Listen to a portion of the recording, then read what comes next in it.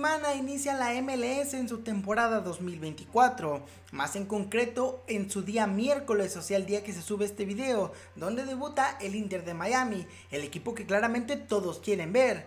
Y esto me da motivo para hacer un tier list, sí, pero esta vez un tier list de las camisetas que se han anunciado para este 2024, por lo que comenzamos rápidamente. Y bueno amigos, como sabemos, estamos aquí, estamos aquí listos para hacer este digamos, tier list sobre las jerseys de la MLS. Yo no hice el tier list como tal, lo busqué en internet, más bien lo encontré en Twitter y lo tomé para, digamos, hacerlo un poco. Tomando en cuenta y como sabemos que la MLS tiene en su, digamos, en su trato con Adidas, todos los jerseys de, este, de esta liga son de Adidas, por lo cual los diseños no variaban tanto en años pasados, hubo una temporada donde prácticamente todos fueron iguales, pero este año realmente sacaron camisetas bastante buenas. Y comenzamos con esta, que si no mal veo es la del Atlanta United, un Atlanta que viste, como sabemos, de, si no mal recuerdo, rojo, claro, rojo, pero que en este caso es de un color, digamos, azul.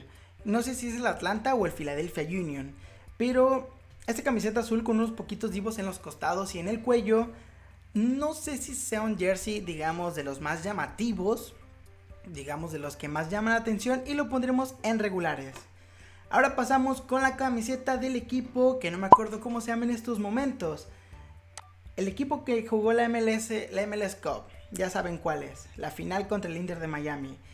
Suele vestir de amarillo y esta vez tiene como una especie de amarillo con, digamos, azul y realmente parece el equipo de Lelas Verona de la Serie A. Y por el diseño que tiene de la franja aquí en el pecho no es como que tan llamativo. Pero no creo que vamos a ser tan malos. Lo pondré en simple. Perfecto. Ahora se viene una camisa importante que es la de Los Ángeles FC, uno de los equipos más nuevos del MLS y un equipo que ha sido bastante llamativo. Como sabemos, estos visten de negro. Negro con divos dorados y en esta ocasión optaron por unas rayas en la, en la parte, digamos, de parte vertical. Es un jersey bueno, no es tan llamativo, pero por los colores y la forma en la que se lleva este tipo de color, lo vamos a poner en buena, porque está buena. Pasamos con este. Este equipo es el San José Earthquakes. El San José viste de azul. En esta ocasión sacaron un jersey un poquito más, eh, digamos, de cumpliendo aniversarios, algo por el estilo, no sabría decirle exactamente, pero es un jersey especial. Tomando en cuenta que este jersey es blanco con divos rojos, muy extraño en el San José, eh, llama la atención, pero parece un jersey un poco más típico, ¿no? De un equipo que no suele llamar tanto la atención, por lo que lo vamos a poner en simples. Lo siento.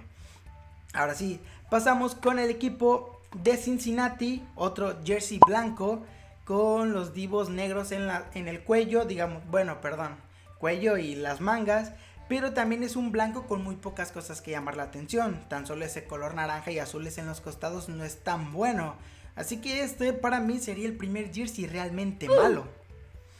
Por lo que bueno, ahora pasamos con un equipo importante y este es el Vancouver. Vancouver Whitecaps, si no mal, si no tengo la mala vista, y es un jersey bastante especial porque es el de visitante y es completamente azul oscuro con el escudo de la hoja de mapre digna de Canadá o representante de Canadá. Y este es bastante bueno, ¿por qué? Porque el color azul no es el equipo, no es el color principal del equipo y aparte ese color entre blanco y dorado desde esta perspectiva se ve bastante bien. Por lo que para mí esa es la primera joya del top. Y bueno, claro, ¿no? El siguiente, este es el equipo de San Luis City un equipo que también viste entre rosa y azul, si no mal recuerdo. Y este jersey, que supongo que es el de visitante, tiene unos colores también extraños, ¿no? Blanco y azul, digo rojo, algo bastante simple y por eso lo voy a dejar en simple. Entiendo. El siguiente, el siguiente es... Parece que es el de Toronto. No, es cierto, el de Toronto está ahí abajo. No recuerdo qué equipo es este, no se alcanza a ver bien el escudo, pero los colores azules no se ven tan bonitos que digamos. Parece una especie de, montón de colores en formas, ¿cómo se llaman? Repetitivas, cíclicas. Lo vamos a poner en regulares, solo porque no recuerdo qué equipo es este realmente, pero bueno.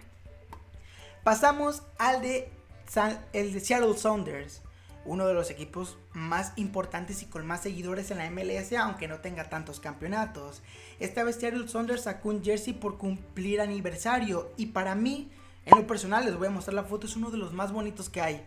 Es uno de los más bonitos por la combinación entre azul y verde y los divos blancos que en un color verde nunca fallan. Por lo que para mí esta es la segunda joya, pero en primer lugar de toda la MLS. Por lo que ahora pasamos al equipo de Real Salt Lake, un equipo que si no mal recuerdo Salt Lake, la ciudad o el estado, disculpen si me equivoco, es una ciudad llena de montañas. Y en el diseño usaron, digamos, una especie de picos que asimilaran el tema de una montaña. Por lo cual, por la forma que le dan, por la idea que le dan, aunque los colores no son tan buenos, lo voy a poner en regular. Porque vean, los colores realmente, la forma del diseño no es tan llamativo como otros jerseys. El siguiente, Portland Timbers. Este es el jersey visitante de Portland Timbers. Un jersey bonito por ser blanco. Ya había subido un short sobre eso. Y una especie de colores verdes que asimilan las hojas de los pinos o de algunos árboles en Portland. O más en concreto en el estado de Oregon. Y por la forma fresca, llamativa, a mí me gusta mucho. Me podría declarar fan del Portland. Pero lo pondré en un jersey bueno. Bastante bueno. Ahora, el siguiente, Minnesota United. Minnesota es un equipo que suele vestir interesante, interesante hay que decirlo, pero en esta ocasión su jersey llama la atención principalmente por ser, digamos, una mirada al cielo, ¿no? Con estrellas, con el color negro que llama la atención. Y para la colección es bastante bueno, bastante llamativo, por lo que le vamos a poner en buenas. Ahora pasamos con Los Ángeles Galaxy, el equipo más conocido posiblemente, bueno, actualmente no, pero más conocido posiblemente y el más ganador. Para ser el LA Galaxy, un equipo que viste bastante bien y que ha tenido jerseys buenos, este jersey blanco que posiblemente es el de local es muy simple. Sabemos que este equipo viste de blanco, que tiene divos azules, incluso así como una especie de café, pero para mí es simple. Ahora, el de este equipo no... no ah, sí, es Houston. El Houston, Houston Dynamo es un equipo que viste de naranja usualmente, color naranja, con divos azules y que esta vez parece que se revierten los colores.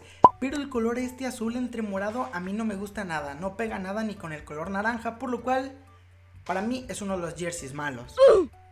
Ahora, otro equipo de Texas, que este es el... Ay, se me olvidó el nombre. Se me olvidó el nombre. Está Houston y está Dallas, me parece que es Dallas.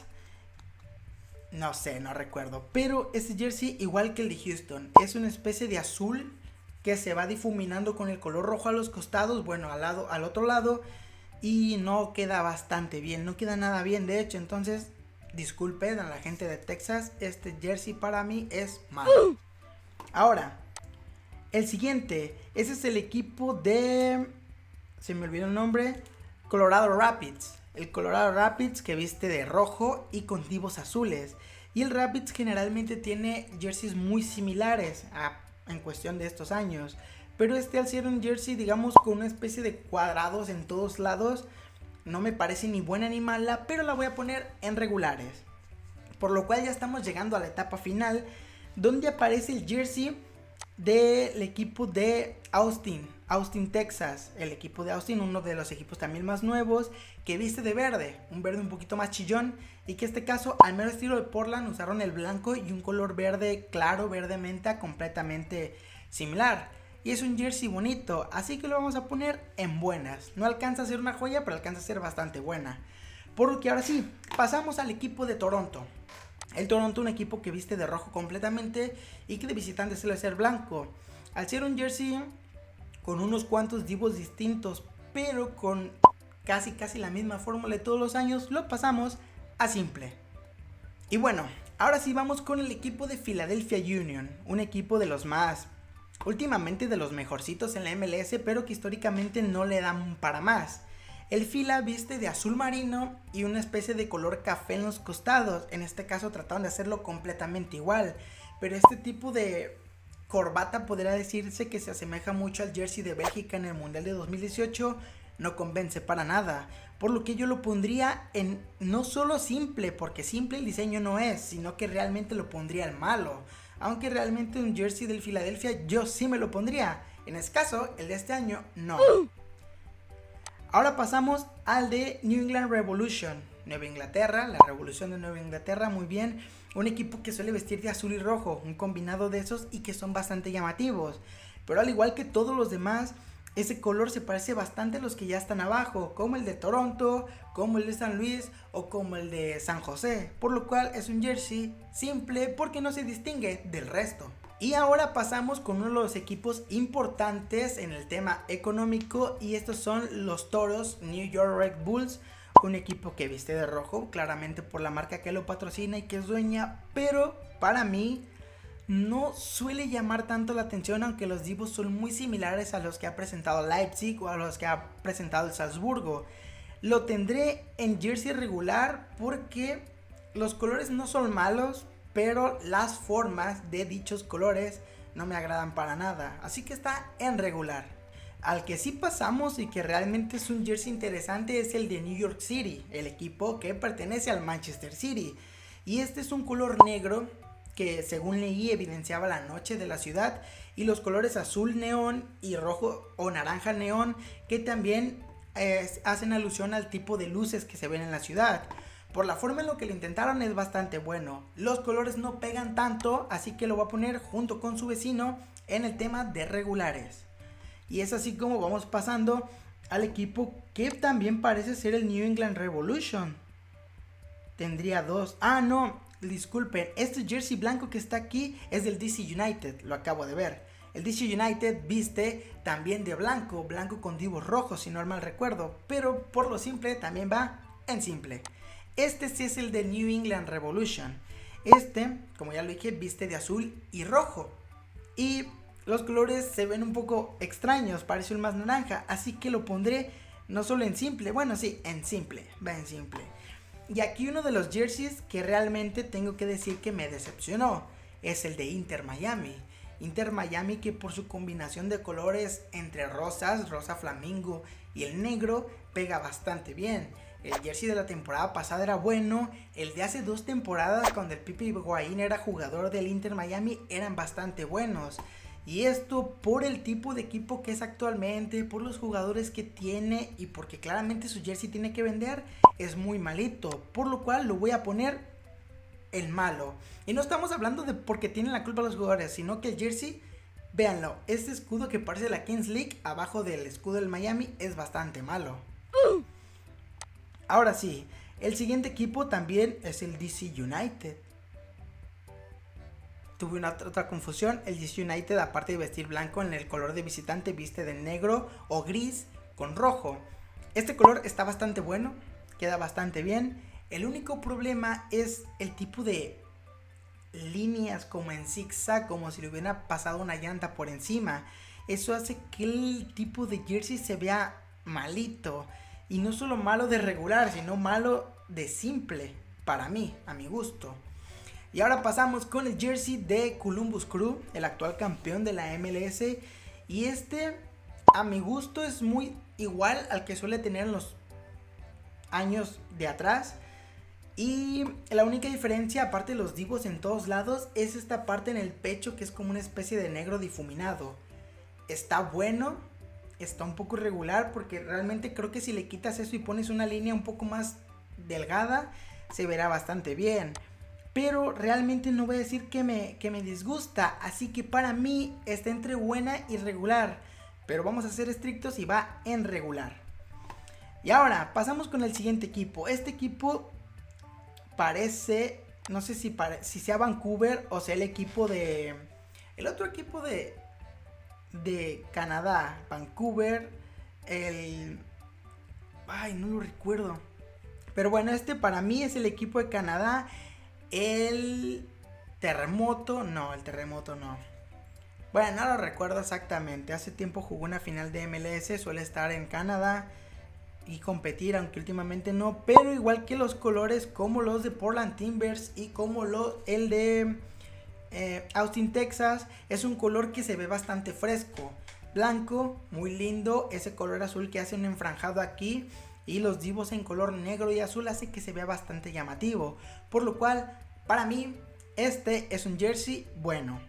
Y como penúltimo pasamos al equipo de Chicago Fire, uno de los equipos, bueno creo que ya ni siquiera se llama Fire, sino solo Chicago, uno de los equipos que se viste el más bien por el tema del rojo y su combinación excelente con el blanco. Este Chicago sí hace las cosas mejor que otros equipos porque la franja blanca no irrumpe en la forma y el estilo de la camiseta. Además de que esos divos por aquí en blanco, arribita de la manga, se ven bastante bien.